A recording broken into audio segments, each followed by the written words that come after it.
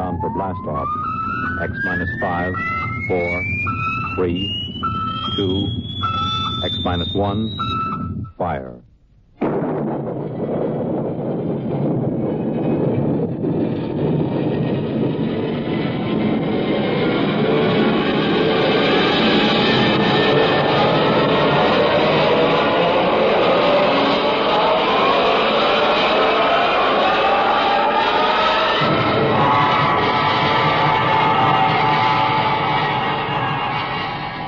From the far horizons of the unknown come tales of new dimensions in time and space. These are stories of the future. Adventures in which you'll live in a million, could be years on a thousand, maybe worlds. The National Broadcasting Company, in cooperation with Galaxy Science Fiction Magazine, presents X, X, X, X.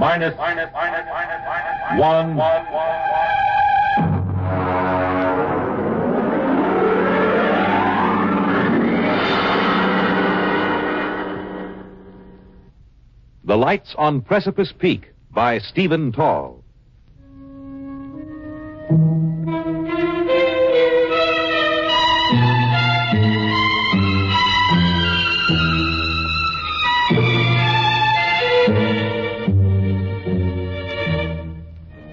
We were sitting on the porch of the lodge, the three of us, Chuck Evers, Royston, and myself.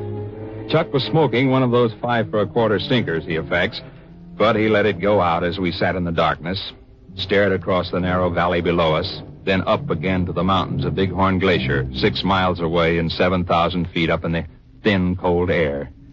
There it is. You see? Where? Well, follow my hand. I'll line it up with a tall pine tree on the first ridge.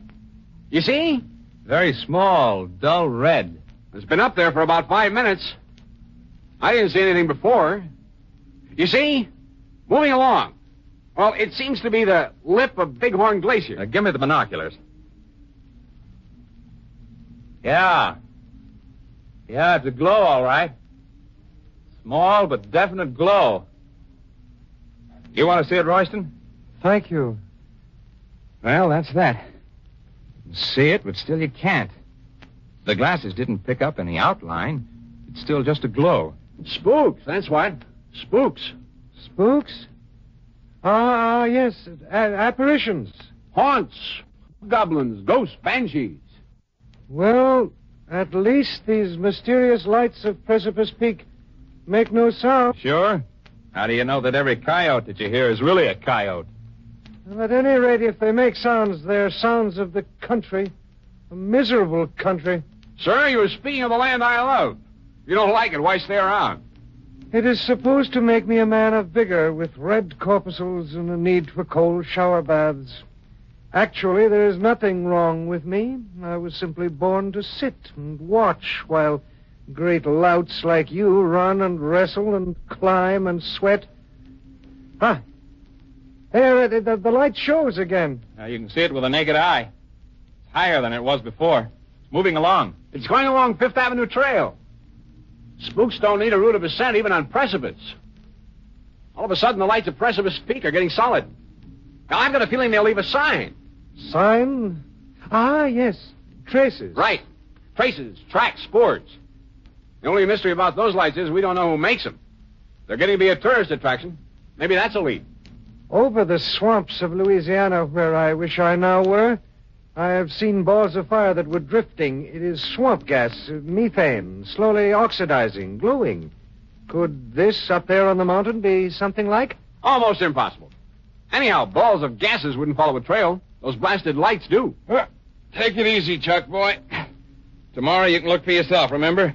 At daybreak, we go up to solve the mystery of the lights. Uh, ghastly. To go out at dawn is as bad as eating raw flesh. But tap on my cabin door as you go by. I will wave to you from the window.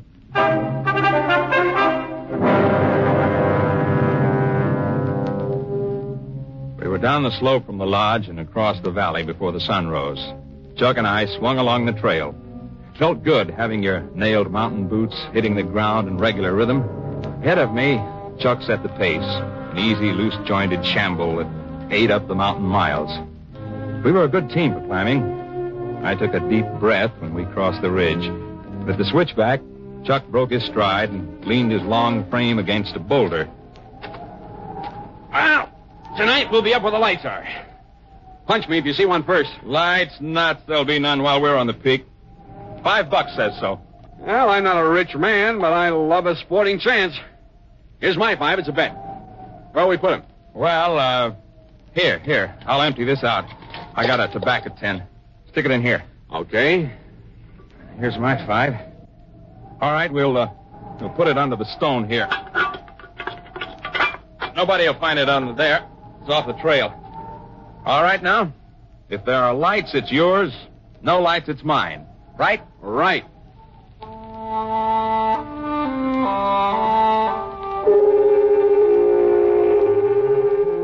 Going into the world above the trees is one of the good things of a peak climb. Hoary marmots whistled from their rocks. Conies scurried. Gray-barred ptarmigan crouched almost invisibly among the gaudy alpine fields of mountain sunflowers and tiny forget-me-nots. At dusk, we laid out our bedrolls on a level bit of tundra in the lee of a massive outcrop near Bighorn Glacier. We cooked a kettle of stew and heated the water for tea. Then Chuck walked away a few paces from the fire to empty the kettle. Ow! What's the matter? Stone turn under me. My ankle. Give me a hand. I got you. Oh, set me down again. okay. Now let's take off that boot and the sock. Oh. oh. Well, I have a feeling, my friend, that I will not climb that peak in the morning. Get the sock off and let's see how bad it is. Oh. Well, we'll uh, we'll pack ice on it and tape it in an hour. Maybe it's a simple twist. oh you know it isn't. Sure, I know. I thought you wanted to be cheerful, that's all. It's like when I broke three ribs climbing to look into a bird's nest the day before we were tackling the east face of Long Peak. Then you would chin up. Well, that was different.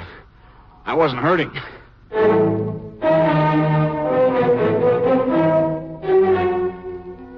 When the stars were out and the quarter moon rose from the plains, I got up from my bedroll seat by the fire. Chuck's ankle was taped, and he was easing it before him as best he could. Oh, that's not so bad for a foot. It only hurts when I try to walk on it. Well, I want to have a look before we turn in. My five spot says there won't be any lights. But the technical crew may be monkeying around somewhere. Well, take it easy. I'll just skirt along the edge of the glacier. Back in half an hour. You take it easy. I know Bighorn Glacier. Its crevices are so consistent they're shown on maps. I carried an ice axe, but I didn't figure to use it. I'd worked my way for a number of minutes along the edge of the moonlit ice sheet. I suddenly got the idea that I should cross it. The glacier had a good snow covering. The going was easy. The view was something few men see. I automatically avoided the big ice cracks. I knew where they were. And then I slipped through a snow roof and fell. I wasn't hurt. The moonlight from the crack above showed my ice axe beside me. It was a lucky fall, except for the fact that I couldn't get out again.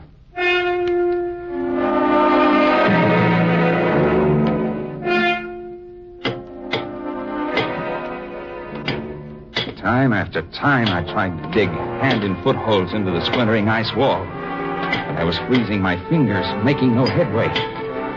Cold was beginning to bite into me. So I settled myself on my heels quietly and tried to decide what to do.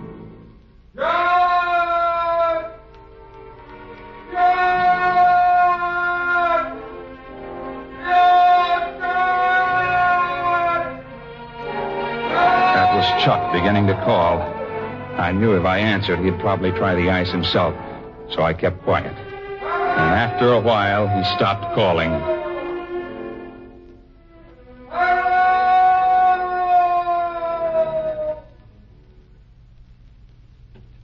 And then, suddenly a dark silhouette showed in the narrow crack of sky above. Are you injured? What? I'm okay. Just drop me a rope and I can walk up the wall. Mind the snow ledge. I didn't, and look at me. A joke? Here's the rope. Hey. Hey, what kind of a rope is this? I never saw anything like it. It's warm. Have you got it now? Yep. Yep, here I come. Hang on. Hang on. Okay. Over the ledge. Well. Hey, did you hold that rope in one hand while I was climbing up? Yes? Well, well, thanks. Lucky for me, somebody has sense enough to walk around ice cracks. Shake. Shake? Oh, shake hands. You must not mind the glove. It is for your protection. The hand is not yet cooled. Cooled? What in the world? Your friend with the swollen foot is concerned for you. Come, I have made an easy way.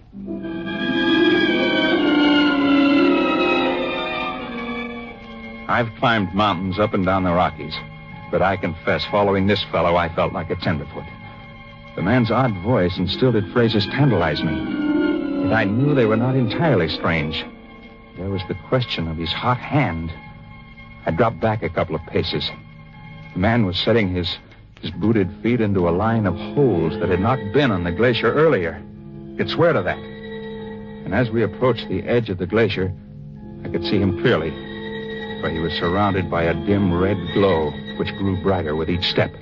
In a few moments, it was as if he were outlined in flame, and I could feel a warmth radiating from him. I wondered why the snow didn't melt under his tread. It's the boots. They insulate. Oh. Oh, oh, I see. Thank you. Hey, you not only light up, but you pick brains. Both good tricks. A joke? I guess so. Only here on Earth are there jokes. We can never be sure about them. We, huh?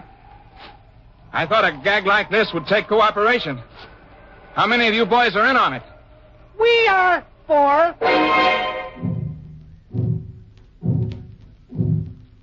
We had left the ice. We were threading along the little ledge that gave onto the boulder field. I noticed that the ruddy glow had faded completely, that the man up ahead was now simply a dark silhouette. We reached the tundra and spotted Chuck's tiny fire. He sat next to it, the tape-wooded ankle eased on a pack sack before him. Well, hello. You took your time. I fell in a crevasse. And I owe you five bucks. Oh? Oh! You should put the more important statement first. But we can take that up later. I see we have company. Oh, yeah, yeah, this... uh, this is Chuck Evers. Uh, I'm afraid I didn't catch your name. I am called Zell. Zell. Yes, Well, it's different anyway. that is because I am different. He can read your head like a crystal ball. And he lights up like a neon sign. Easy, boy. You slipped on the ice before. Sit down. Let's quit being funny. Let us all sit and I will tell you why I am Zell. I will do it because I know when you repeat my words that you will not be believed. Now, listen. You listen. You came up to climb the peak, but also you came to see what caused the lights. If you had not had misfortune, you would have climbed the peak, but there would have been no light. We would not have come. Hey, there's a light back up there where we were. You see? That red light on the glacier? Oh, yeah. Yeah, moving across. That is Zor. We grew in the same membrane. He is erasing our trail across the ice. Yeah, very smart. We can tell tales down there, but there won't be any proof, huh? That is correct. Chuck Evers, you are wondering about the statement that we grew in the same membrane? Well, yeah. Yeah, I was thinking. that- I should have said that we are twins. Holy. You're right, John. It is telepathy. You weren't out of your head. The truth is simple.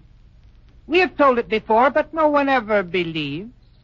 And it has not seemed wise to support our facts. We, Zor and I, with our companions Zim and Zet, are explorers. But we do not explore mountains. Here we rest and allow ourselves to behave normally. We explore in towns and cities where people gather. It is strenuous. We cannot tolerate it for long. Then we must go into seclusion and renew ourselves. Yeah, I know what you mean. Ten days in Denver, and I feel like I've been staked with a short rope. I gotta get away. Your problems are simply a matter of preference. Ours are physiological. We cannot long maintain metabolic balance in the company of people. Thus, Zim and Zet are now back in the world you inhabit. When they must rest, then our turn comes. I will show you. This is a rock. You may call it granite. To me, it is food. So, Eat it in good health. thank you. Among people, this would be conspicuous. You are not adapted to get oxygen from rock. We are. Well, I'll admit that's a tougher cereal than I'd want to try. But the point of the joke still escapes me. There is the matter of my body glow. I can control my body temperature, raising it and lowering it as I choose. The greatest difficulty when I am among you people is to keep myself down to human body heat. Normally it is much higher than yours. And when, due to exercise and metabolic speed up, excess energy is accumulated, it is satisfying to us to radiate it. Much as you get released by deep sighs, by long breaths, by stretching your limbs.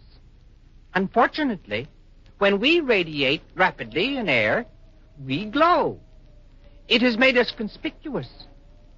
Yet, your unawareness of us is a marvel.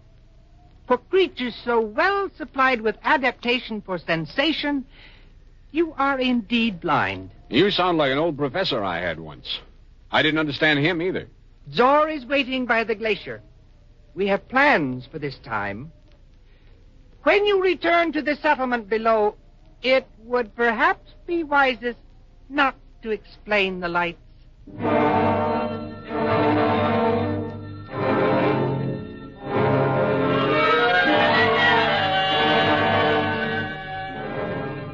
Both sat silently beside the dying fire.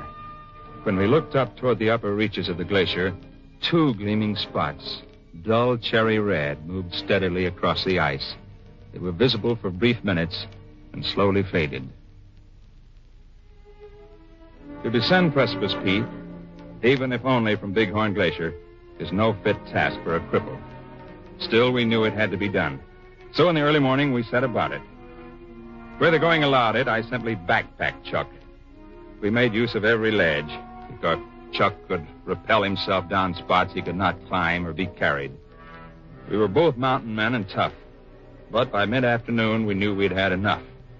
We were lucky, though. We ran into Heine Cobb, the ranger, heading down trail with two pack horses. We stopped only once the big switchback. I got down from my horse, pried up a stone, took the tobacco can from under it, and gave it to Chuck without a word. Back at our camp on the lakeshore, Chuck and I weren't disturbed by questions. When men fail on the peaks, they tell their own stories in their own time. Chuck's ankle showed quick improvement, and in a couple of days he was hobbling about. Only young Royston came to visit us. You have not been back to the lodge. Perhaps you are afraid to show your faces. People talk your arm off up there. Not many of them have the gall to come snooping around here. You cannot offend me. I was concerned for you. I, I was interested, so I came. Did you see the lights? Nope. Nary a light. I told you they wouldn't show up when anybody was up there. You collected five bucks from me, betting on the other side of the fence. You were the man who was so sure there'd be some sign. I do not understand. You are both confusing everything, and you are both lying. There were lights on the peak when you were there, and I have a feeling you saw them. They were quite a show from here. Well, this is the place to see them from. Closer up, you lose perspective. Well, I must go. Friendship means nothing to you, so I will take my small hike back to the lodge again. Actually, I came to say that tomorrow I leave this miserable place and go home. I've endured all the health I can stand. Now, that's a different story. We're sorry to see you go, fella. My regards to the swamps. Ten to one, when you get there, you'll wish you were back. This I very much doubt. Goodbye, John. Goodbye. Now, there's a funny fella. Hey, what are you doing? Just feeling the stone step where he sat. I thought so. He really liked us, but this time he was careful not to shake hands. Did you notice? Yeah. In spite of himself, he had reached his limit of control. His temperature is going up. Yeah, I guess it is. He never could see a joke. And remember how he'd say something and then wait? as if he didn't understand it, and then all of a sudden it would come to him. He'd wait to pick our brains for every new word. You mean Royston? Royston is a name out of a hat. When that lad really goes home, he'll go with his buddies up there on that peak.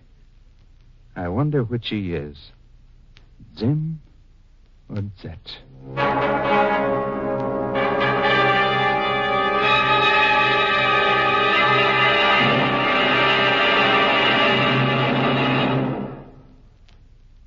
You have just heard X Minus One presented by the National Broadcasting Company in cooperation with Galaxy Science Fiction Magazine. X Minus One has brought you The Lights on Precipice Peak, a story from the pages of Galaxy written by Stephen Tall and adapted for radio by Ernest Kinoy. Featured in the cast were Jim Boles as John Drinkhart, Joseph Helgeson as his fellow climber Chuck Evers, Ted Osborne as Zell, and Court Benson as the man who called himself Royston. Your announcer, Fred Collins. X Minus One was directed by Kenneth McGregor and is an NBC Radio Network production.